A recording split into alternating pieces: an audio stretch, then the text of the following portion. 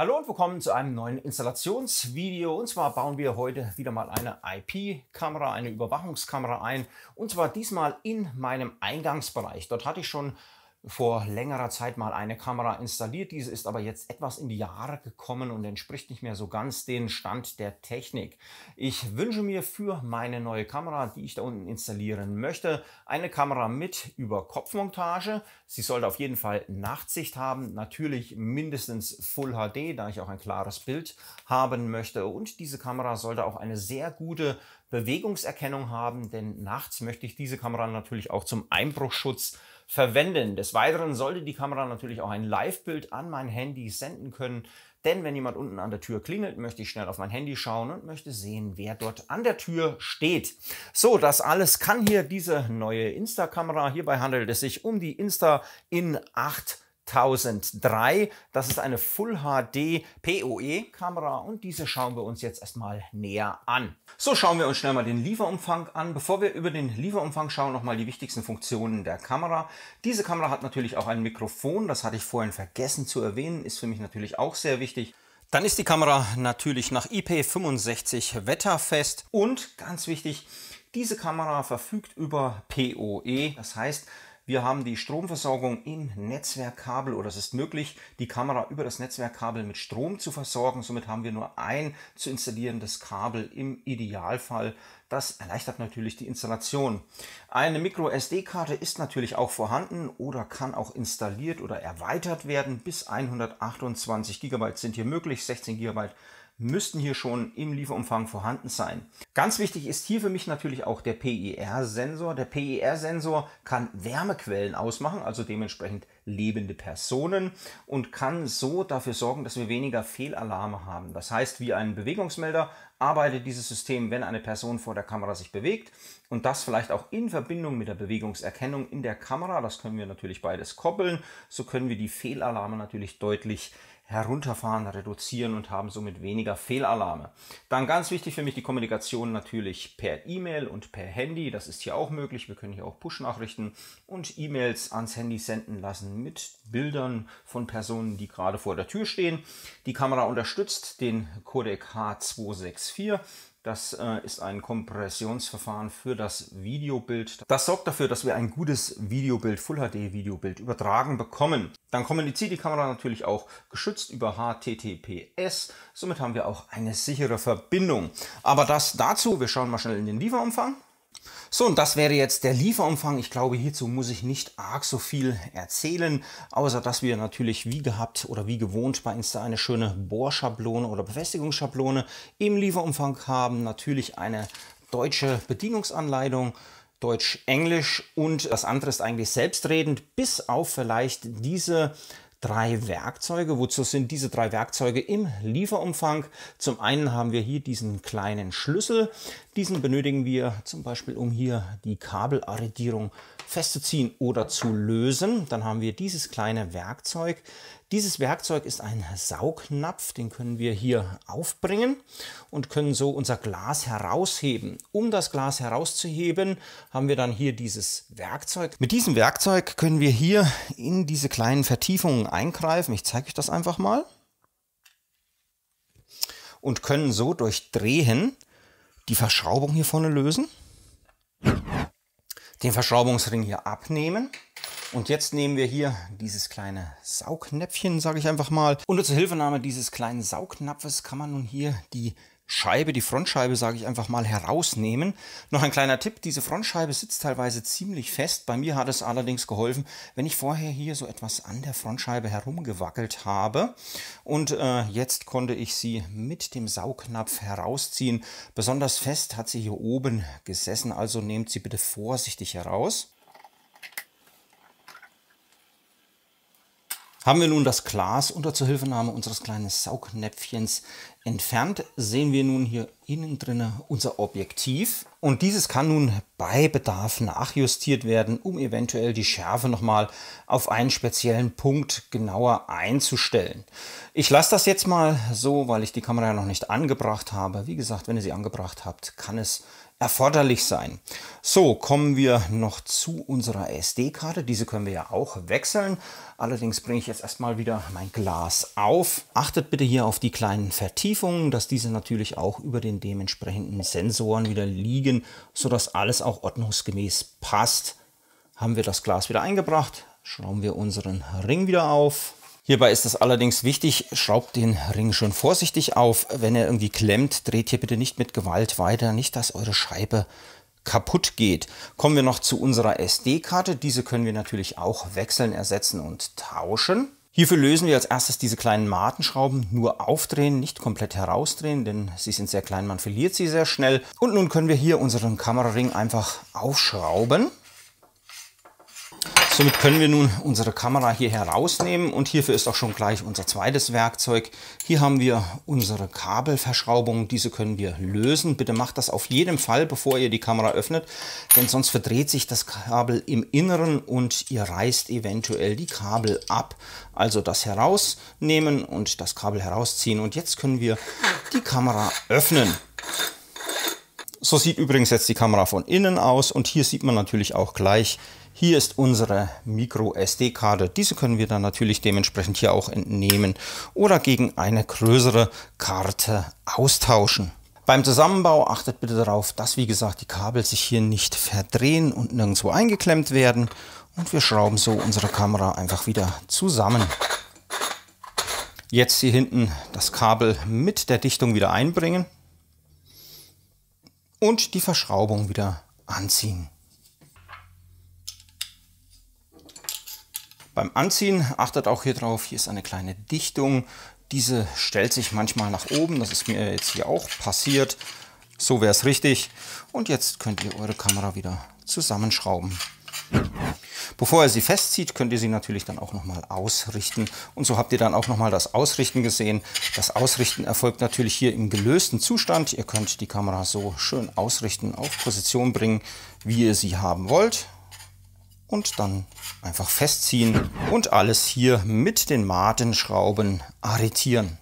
Kommen wir dann zur Installation. Wie gesagt, diese Kamera ist für den reinen kabelgebundenen Einsatz konzipiert. Das heißt, sie hat kein WLAN verbaut. Wir können sie also nur über LAN betreiben. Wir haben hier ein schönes langes LAN-Kabel mit im Lieferumfang und hier natürlich auch unsere Stromversorgung. Des Weiteren ist es natürlich auch möglich, diese Kamera per PoE mit Strom oder Energie zu versorgen, was also bedeutet, wir haben eine Stromversorgung direkt über das Netzwerkkabel, was natürlich bedeutet, wir müssen dann dementsprechend nicht so viel viele Anschlusskabel zu unserer Kamera herausführen. Wie ihr das macht, überlasse ich jetzt mal euch.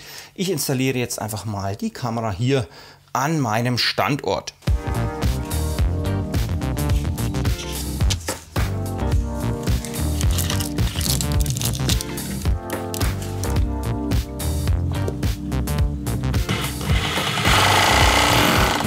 So, leider ist die Wand hier nicht besonders viel wert. Ihr habt es ja vorhin schon gesehen. Deswegen habe ich jetzt hier nach dem Bohren auch noch mal einige Reparaturarbeiten durchgeführt. Wenn ich jetzt die Kamera hier drauf setze, habe ich wenigstens einen intakten Untergrund. Und ähm, das Repariere kann dann in aller Ruhe aushärten.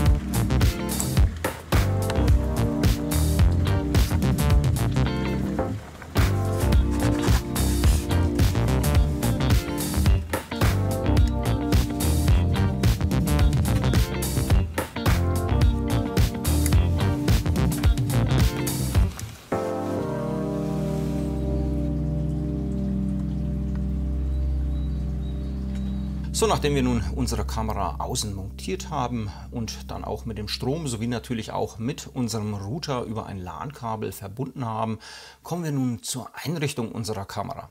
Hierfür öffnen wir einen Webbrowser und geben hier oben ein http install.insta.de. Hier angekommen folgen wir nun einfach den Bildschirmanweisungen. Hier kommen wir nun in ein Menü, wo wir uns für einen Installationsschritt entscheiden müssen. Wir müssen ja noch die Ersteinrichtung machen, also wählen wir diese aus. Hier kommen wir nun an einen wichtigen Punkt. Habt ihr nun die Kamera wie ich über einen normalen Netzstecker angeschlossen oder betreibt ihr eure Kamera über PoE, so wählt ihr bitte hier den Punkt aus, der auf euch zutrifft und folgt weiter den Bildschirmanweisungen. Hier wird uns nun empfohlen, das Insta-Kamera-Tool zu installieren. Wir installieren es starten es, versichern uns nun, dass wir hier mit dem richtigen Netzwerk verbunden sind und suchen unsere Kamera. Hier habe ich gleich die Kamera gefunden, also kann ich diese Kamera durch Doppelklick auswählen. Hier müssen wir uns nun anmelden. Unsere Standard-Anmeldedaten sind im Auslieferungszustand Admin und als Kennwort einfach Insta kleingeschrieben.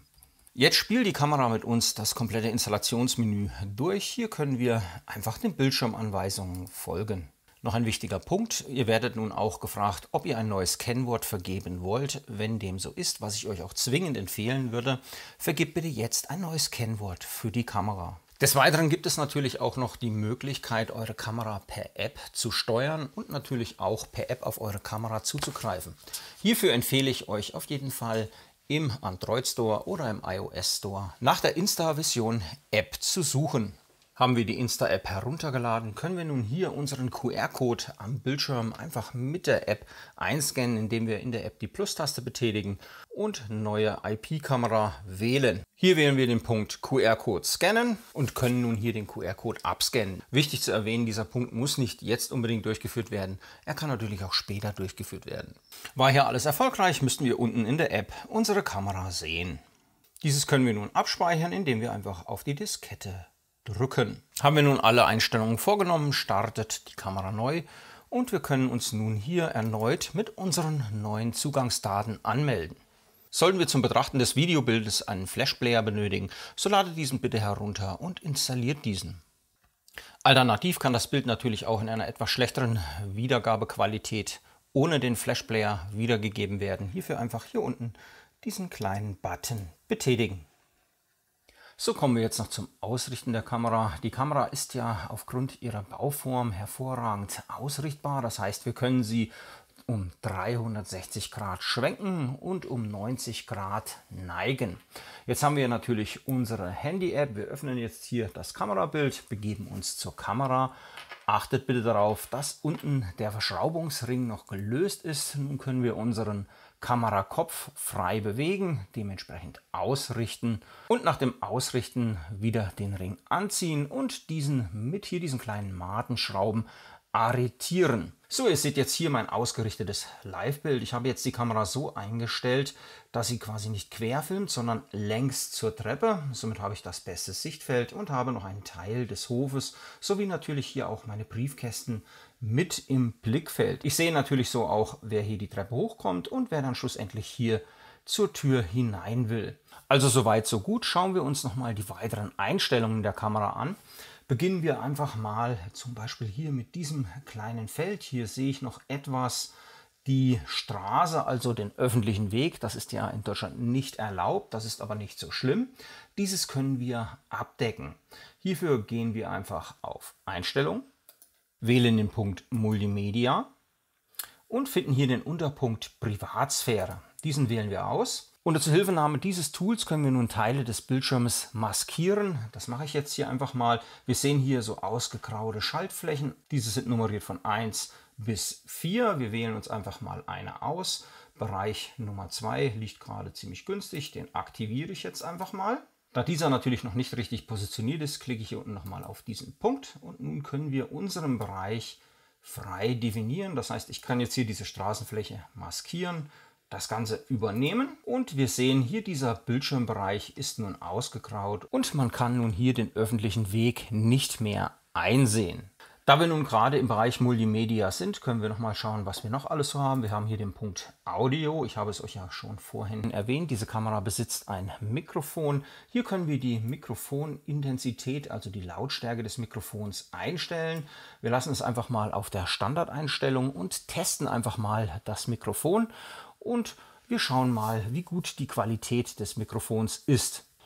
So, und hier mal ein kleiner Tontest.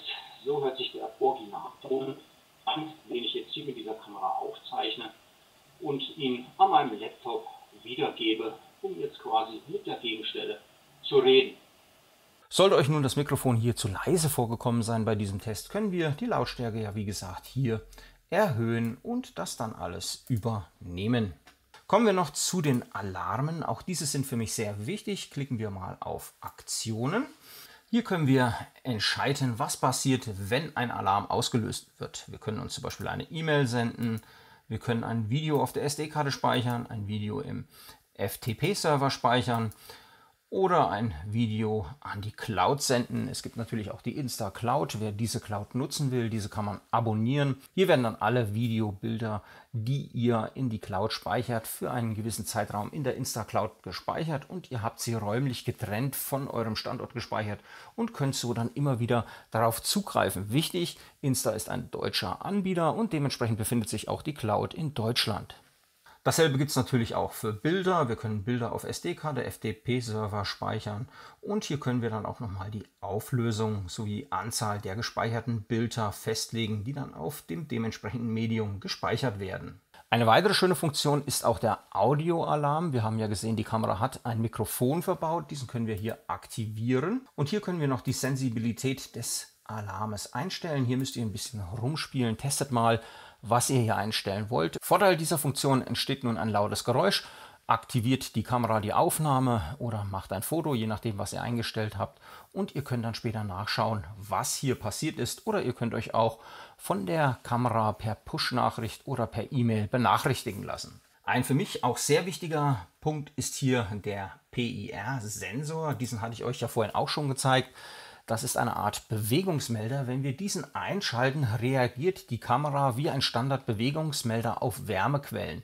Dieses verhindert Fehlalarme, was also bedeutet, wir müssen jetzt eine Wärmequelle vor der Kamera haben und erst wenn diese auftaucht, wird eine Aufnahme gestartet. Wir können natürlich die ganze Geschichte kombinieren mit unserer Bereichserkennung. Dafür klicken wir hier auch auf Ja. Die Bereichserkennung ist auch ein großer Vorteil. Wir können jetzt zum Beispiel einzelne Bereiche hier im Videobild festlegen. Erst wenn in diesem Bereich eine Bewegung festgestellt wird, zeichnet die Kamera auf. Haben wir hier, wie in meinem Fall, beide Systeme aktiviert, muss eine Bewegung im Bereich festgestellt werden und es muss eine Person vom PIR-Sensor erkannt worden sein. Erst dann wird eine Aufnahme gestartet. Das verhindert natürlich Fehlalarme, die zum Beispiel durch wackelnde Äste oder Gestrüpp oder irgendwas ähnliches ausgelöst werden. Und ihr habt hier ein besseres Alarmbild, ein genaueres Alarmbild. Die gerade eben angesprochenen Bereiche können wir natürlich hier auch festlegen. Ich klicke einfach mal auf Bereiche. Hier wieder dasselbe Schema. Wir haben hier vier Bereiche. Diese können wir separat anwählen. Wir beginnen einfach mal mit Bereich Nummer 1, aktivieren diesen. Wir sehen, standardgemäß ist alles als Bereich Nummer 1 aktiviert. Ich möchte aber, dass jetzt hauptsächlich hier im Treppenbereich eine Aufzeichnung oder eine Überwachung erfolgt. Also markiere ich hier diesen Treppenbereich. Hier können wir noch die Sensitivität einstellen. Hier müsst ihr mal rumspielen, wie sensibel euer Sensor oder eure Bewegungserkennung reagieren soll. So, jetzt haben wir noch einige Flächen hier ausgelassen. Ich hätte gerne noch diesen Briefkasten und diese beiden Briefkästen überwacht und eventuell auch hier Teile des Hofes. Hier haben wir aber noch weitere Bereiche. Wir aktivieren einfach mal Bereich Nummer 2 und wählen zum Beispiel damit den Briefkasten hier aus. Dann nehmen wir Bereich Nummer 3 und wählen hier drüben diese Briefkästen aus. Dann nehmen wir nochmal Bereich Nummer 4 und der soll dann hier nochmal die Lauffläche hier hinten beim Hof überwachen. Das machen wir auch nochmal so. So, und jetzt habe ich hier aus Versehen meinen Briefkasten gelöscht. Ist nicht schlimm. Dann schalten wir nochmal auf Bereich Nummer 3. Nehmen hiermit nochmal den Briefkasten und haben somit alle Bereiche markiert, in denen meine Kamera überwachen soll. Wichtig, ihr könnt natürlich auch, wie ihr das hier seht, Bereiche überlappen. das macht gar nichts. Trotz alledem wird die Alarmierung ordnungsgemäß funktionieren. Haben wir nun unsere Bereiche festgelegt, übernehmen wir diese. Schauen wir noch mal kurz in unsere Alarmaktion. Hier sehen wir, wir haben unseren PIR-Sensor aktiviert, unseren Bereich aktiviert, was also bedeutet, wenn sich jetzt in diesen markierten Bereichen irgendwas bewegt, sichtbar bewegt, sodass die Kamera es sieht und der PIR-Sensor gleichzeitig anschlägt, wird die Kamera nun Alarm schlagen, ein Bild aufzeichnen oder ein Video aufzeichnen, je nachdem, was ihr eingestellt habt. Im letzten Punkt finden wir noch die Systemeinstellungen. Hier könnt ihr alle wichtigen Grundeinstellungen der Kamera vornehmen. Eine ganz wichtige Einstellung habe ich bis jetzt noch vergessen. Wenn ihr eure Kamera neu eingerichtet habt, empfehle ich euch auf jeden Fall mal nach einem Firmware-Update zu suchen. Klickt einfach hier drauf und schaut, ob eine neue Firmware vorliegt. In meinem Fall ist das so. Also installiert bitte die neue Firmware so schnell wie möglich. So, dann kommen wir zu guter Letzt nochmal zu der Videoqualität. Das heißt, wir schauen uns einfach mal einige Fotos und Videos dieser Kamera an. Beginnen wir einfach mal mit einer Standard-Tagaufnahme. Das hier wäre so eine Standard-Tagaufnahme aufgezeichnet in Full HD.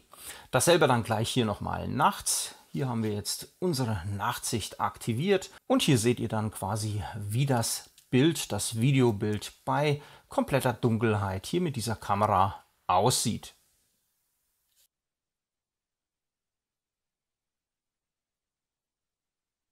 So, und damit bin ich auch schon wieder am Ende des Videos angekommen. Noch ein wichtiger Hinweis, diese Kamera hatte ich bei Insta angefragt und Insta hat mir netterweise diese Kamera kostenlos zur Verfügung gestellt. Link zu dem Produkt natürlich wie immer unten in der Videobeschreibung. Hat euch mein Video in irgendeiner Form gefallen oder weitergeholfen, würde ich euch um einen Daumen hoch bitten. Wollt ihr noch mehr meiner Videos schauen? Kein Problem. Abonniert hier einfach meinen Kanal, denn abonnieren auf YouTube ist natürlich kostenlos. Und wollt ihr keines meiner weiteren Videos mehr verpassen, so klickt doch einfach noch neben dem Abo-Button auf das Glockensymbol. Ich sage damit Tschüss bis zum nächsten Mal. Euer Marc auf YouTube.